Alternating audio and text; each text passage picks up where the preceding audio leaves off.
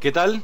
Eh, bienvenidos al tercer video tutorial del módulo 7 continuando con Spring MSC pero en esta oportunidad vamos a explicar un poco todo lo relacionado para trabajar con, con base de datos.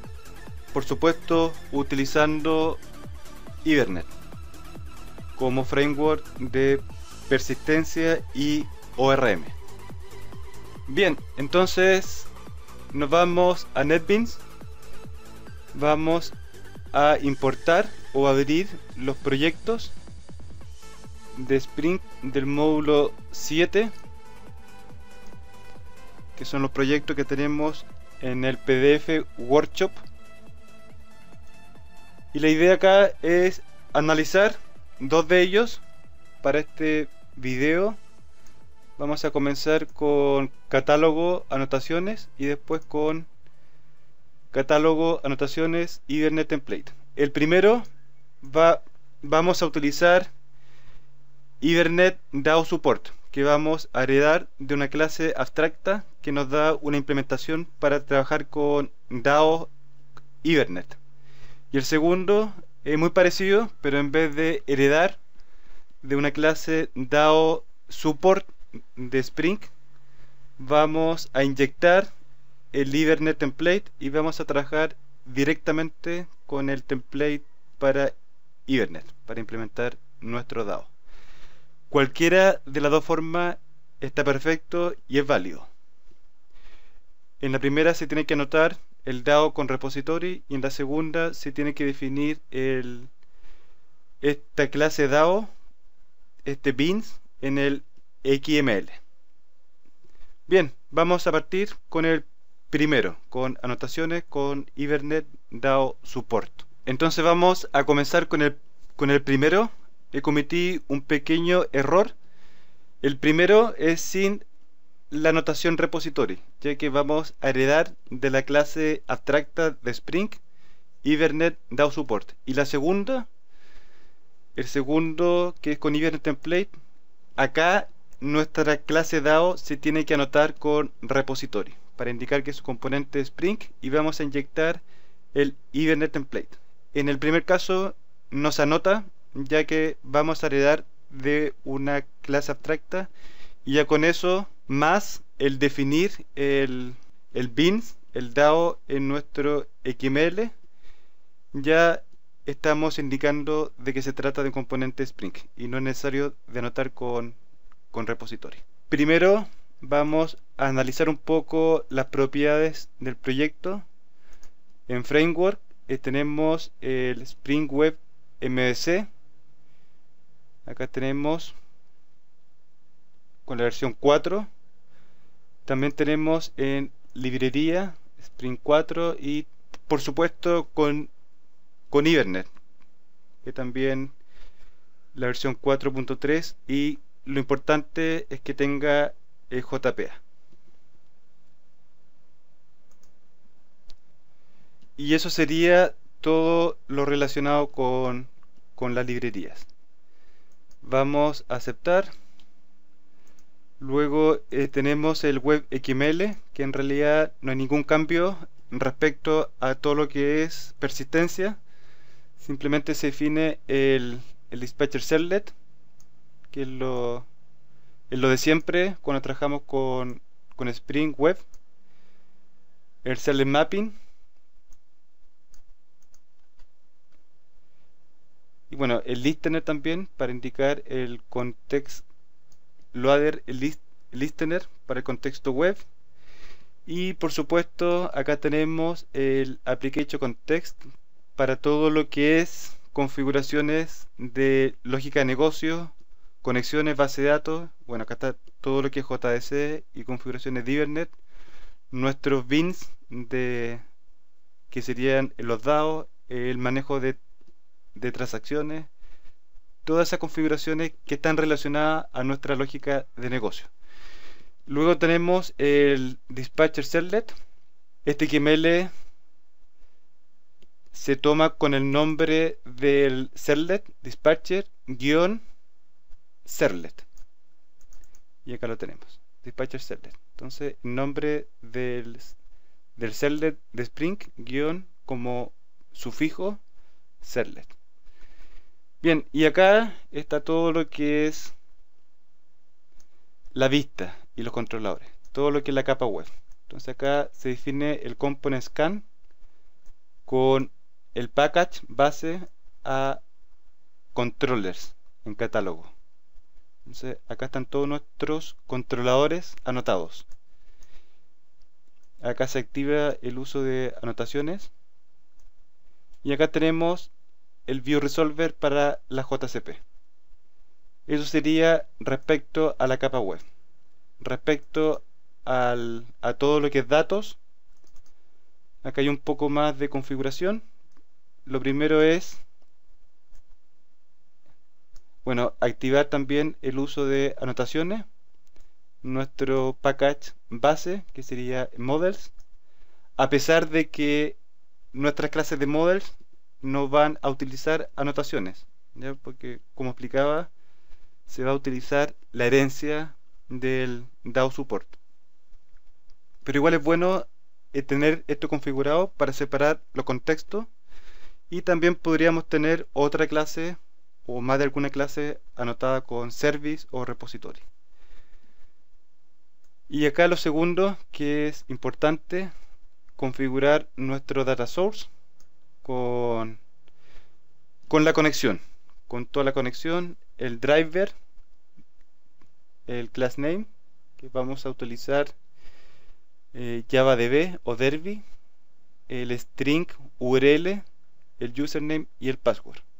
Estos datos se obtienen y se configuran acá en el, en el property config y eh, configurer y acá apunta hacia webinf jdc property y acá tenemos nuestros parámetros estamos utilizando. Y acá está el string de conexión y el driver de JDS. Luego tenemos el factory el de, de que se maneja con la clase o componente Spring Local Session Factory Beans. Entonces acá le tenemos que inyectar el data source en el property eso es importante. Entonces el bin ref o el ref bin tiene que apuntar hacia el ID del, del bin data source. En este caso se llama data source, igual que el nombre del property o el atributo de esta clase. Luego tenemos las clases entity de Ibernet anotadas y acá tenemos una sola, pero pero podríamos tener más de una. Entonces, si tenemos más, simplemente se listan. Y luego tenemos un par de propiedades de Ibernet. Por ejemplo, el, el dialecto para trabajar con Derby, con la base de datos Derby y también que nos muestre el SQL en la consola. Luego tenemos el producto DAO, el producto DAO, nuestro BINS, que hereda de Ibernet DAO Support. Ya vamos a ver el detalle, pero acá está la clase, producto DAO. Y le vamos a inyectar el Session Factory. Esta inyección se lo estamos inyectando, pero como hereda de Ibernet DAO Support, finalmente se va a inyectar a la clase padre. Pero por supuesto va a quedar habilitada también para nuestra implementación o la clase que está heredando de Ibernet da Support, la clase hija.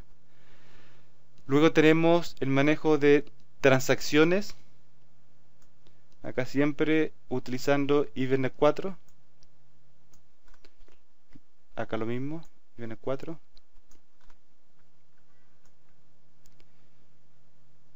Y acá le pasamos el factory, el session factory de Ibernet.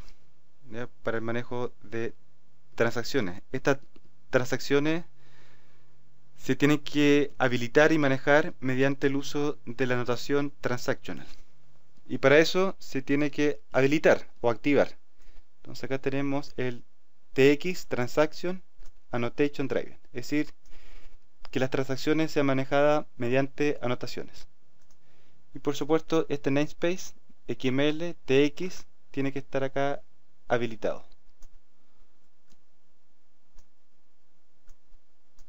Bien, eso sería la configuración. Es decir, es relativamente simple. En mecánica, por lo general, en cada proyecto, si lo trabajamos de esta forma, sería más o menos igual o similar. Bien, estuvimos un poco las clases. Vamos a comenzar con las clases, el DAO, bueno, en la clase también de Ibernet, el, el Entity, producto, y en fin. Y después nos vamos a estudiar el controlador y las vistas. Entonces vamos a estudiar las clases del proyecto.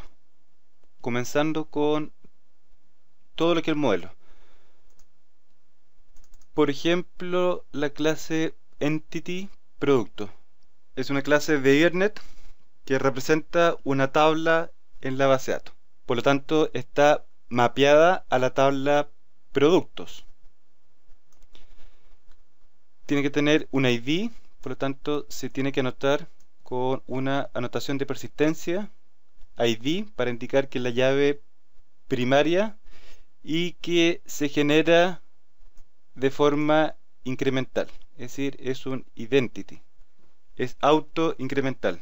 Y típicamente se utiliza para base de datos, por ejemplo, como MySQL, como, eh, bueno, Ederby también, todas las que son auto incrementales y son manejadas también por el motor de base de datos. Luego tenemos atributos nombre, precio y cantidad. Eh, se omite el column, ya que por defecto, al no tener el arroba eh, column, eh, va a asumir que el nombre de columna es igual que el nombre del atributo. Pero, pero de todas formas están automáticamente mapeadas al campo nombre, al campo precio y al campo cantidad en la tabla productos. Luego su getter y setter es respectivo. Y recordemos que esta clase se tiene que configurar acá, en, el, en las clases anotadas, en el, en el Session Factory de, de Ibernet. Entonces, importante que esté configurada acá. Bien, luego tenemos la clase eh, DAO. Acá tenemos la interfaz que contiene el contrato de implementación, es decir, los métodos, los típicos métodos para listar, obtener por ID, guardar y eliminar. Y acá tenemos la implementación del DAO. Por lo tanto, ya esta implementación va a implementar la interfaz y DAO. Por lo tanto, va a dar implementación a cada uno de los métodos. Además, tiene que decir, una forma de implementar un DAO con Ibernet y Spring es heredar de la clase Ibernet DAO Support. Acá tenemos el import para Ibernet 4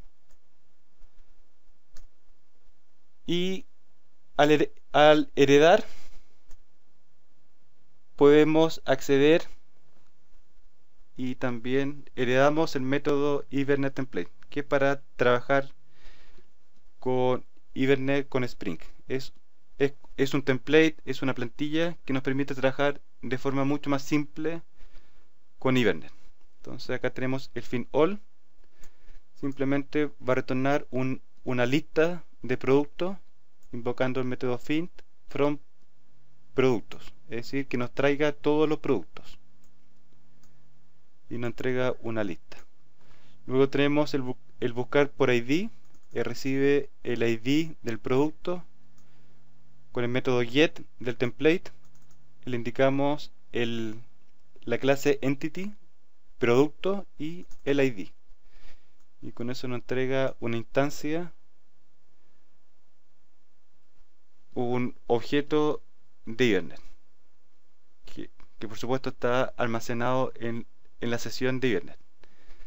Luego con save, acá pasamos el objeto que está dentro de la sesión de Ethernet y con el método save or update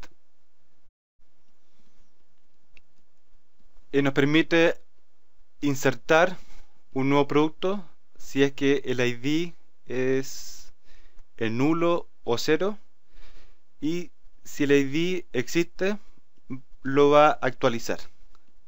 Por lo tanto va a ser una especie de de merge o actualización en la base y lo va a sincronizar. Bien y acá tenemos el delete ahora también importante el transactional que con esta notación indicamos que maneje la transacción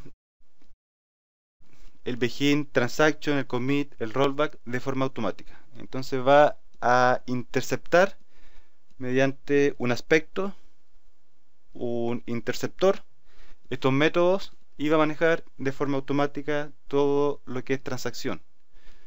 Entonces ya con eso nos ahorramos varias líneas de código y además queda todo automatizado. Y eso es justamente lo que se configura en el XML. Acá, en el Transaction Manager, le pasamos al Factory y habilitamos esta anotación transactional. Y eso sería todo. Es una clase. La idea es que estas clases sean lo más simple posible. Todo el trabajo sucio está por detrás. Simplemente implementamos lo mínimo que sería nuestra lógica de negocio. Bien, eh, el controlador lo tenemos acá. El controlador simplemente se le inyecta el, el DAO, acá hace referencia a la interfaz.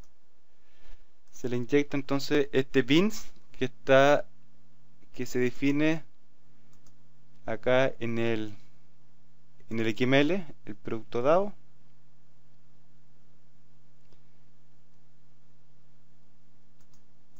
Y con eso ya podemos trabajar. Por ejemplo, para listar todos, acá estamos retornando el listado de productos y con la notación model attribute lo almacenamos con el nombre productos.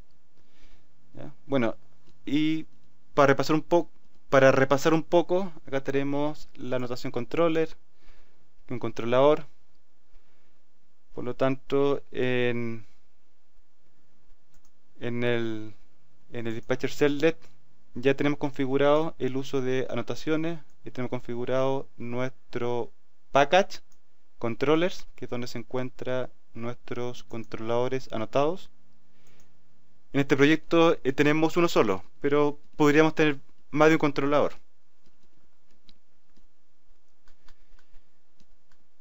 Eh, ¿Qué más? Acá tenemos el setup form, que en el fondo es para mostrar el formulario, por lo tanto es get. Acá se muestra. Acá le indicamos el nombre de la JCP, form.jcp, y le pasamos el producto. Si el ID existe es para modificar, es para editar un producto, entonces lo vamos a buscar a la base de datos y lo pasamos a la vista. Si es para crear un nuevo producto, simplemente se crea una instancia del producto y lo pasamos a la vista. Luego tenemos el procesar el formulario del tipo post, ya es cuando se envía el formulario. Acá tiene su mapping también, es el mismo que el de acá, pero la diferencia es que uno es get y otro es post. Y acá se valida, se valida el formulario con la clase validadora, producto validador.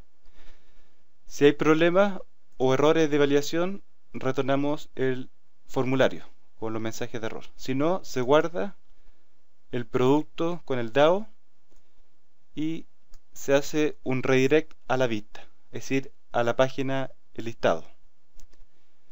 Luego tenemos el, eliminar se va a buscar el producto por ID se obtiene el producto que está dentro del contexto de Ibernet, dentro de la sesión, y ya estando dentro de la sesión se puede eliminar.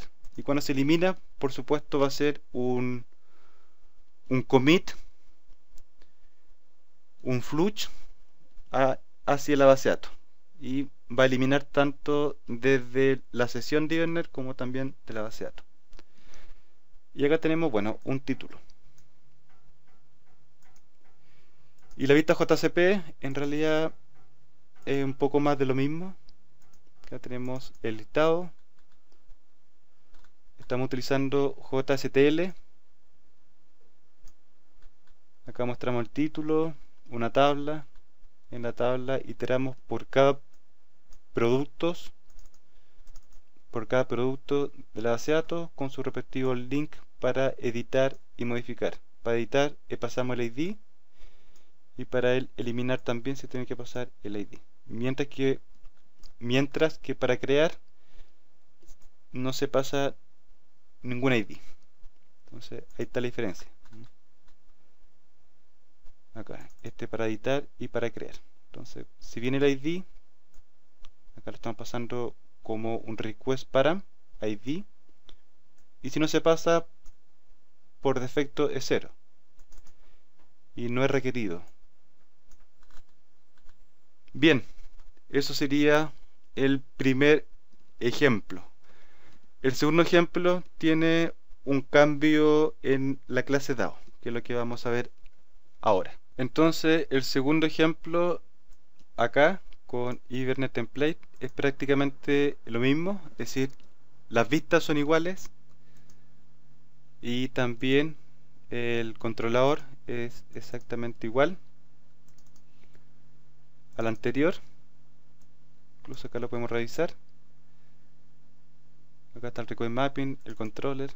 Recordemos que el, el request mapping de primer nivel es decir, primer segmento de la URL es catálogo y el siguiente es cada una de las acciones. Pero el código y la implementación es la misma. El validador también lo pueden estudiar acá. Acá tenemos el validador del producto usando una clase validadora y también pueden utilizar anotaciones para validar bueno acá tenemos la el entity que es igual también y acá tenemos el producto dado y acá está el cambio se fijan acá simplemente implementamos la interfaz pero acá no se hereda de nada es decir, no hay herencia de ninguna clase de Spring, de ninguna clase Hibernate DAO Support. Simplemente se tiene que anotar con repository y eso marca a esta clase como un componente, como un pins de Spring. Por lo tanto, no es necesario tener que definir el, producto DAO, este pins, en el XML.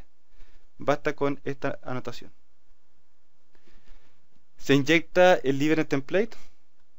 En el ejemplo anterior, el Liveness template se obtiene de la herencia. Acá simplemente se inyecta. Y la forma de trabajar igual, es decir, la implementación, el fin, el get, el, el guardar o actualizar y el eliminar. También utilizamos transaction. Entonces la diferencia es en la notación repository y también no estamos utilizando herencia. Y la otra diferencia es en la configuración. Nos vamos a ir al, al application context, que acá es donde está el cambio. Se fijan, acá tenemos el data source, el factory, todo es igual. Y acá tenemos el event template. A diferencia del del pintado. Entonces es importante acá tener el event template y se define como, pins para que se pueda inyectar acá en la clase DAO. Entonces se define el Livener template como componente, como un pins de Spring, para que se pueda inyectar. Y le pasamos acá el Session Factory. Y luego tenemos el manejo de transacciones. Y por supuesto que es muy importante el component scan para que pueda leer y configurar la anotación repository y por supuesto registrar mediante esta anotación como un componente de Spring. Esta anotación es un es un tipo de component, es un estereotipo. Es un component de Spring. Pero está relacionado a lo que es datos, lógica negocio. Igual que el controller también es un también es un es un tipo, ¿cierto? Un estereotipo de component, pero está relacionado al controlador. Ambos son componentes Spring, uno lógica negocio, repository, controller, todo lo que es la capa web. Pero ambos son componentes, son pins. Bien, y quedaría eh, levantar el proyecto con RAN. La idea es poder visualizar todo lo que hemos hablado y explicado en el, en el navegador. Entonces vamos a ejecutar, bueno, puede ser el catálogo anotaciones que usa usa Ethernet DAO Support o bien el, el ejemplo con Ethernet Template y con la anotación repository. Bien, pero antes de ejecutar hay que revisar que la base de datos esté levantada, el servicio, el servidor. Una vez que la base de datos esté arriba, ahí podemos ejecutar. De lo contrario, va a lanzar un, un error, ya que no encuentra el servidor de la base de datos. Bien, y acá está el ejemplo. Acá está el ejemplo, una lista, una tabla. Entonces acá podemos agregar, podemos validar, podemos agregar una un nuevo producto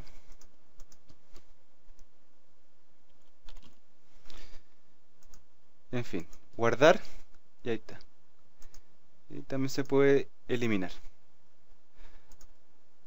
Y funciona exactamente igual el Ethernet template. También lo vamos a ejecutar, pero el cambio está por debajo, es decir, en la implementación del DAO. Pero todo lo que es funcionalidad, el listado, el formulario, es prácticamente lo mismo.